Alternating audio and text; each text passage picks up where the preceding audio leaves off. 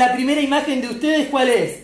¿Cómo me conocieron? Y sí, por el culo. Por lo menos importante. Por lo que a mí me gusta que me conozcan es por lo que tengo acá en la cabeza y por lo que tengo acá, no en la goma. No, la prótesis no, en el corazón.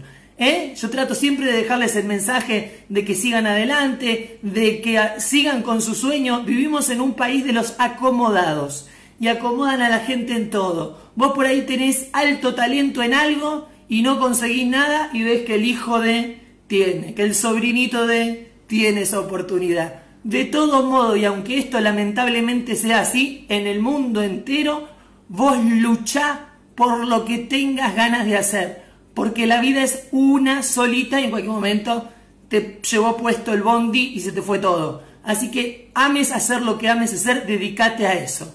Si te gusta hacer las uñas, haz las uñas. Si te gusta actuar, actuar. Si te gusta tocar la guitarra, toca la guitarra. Si te gusta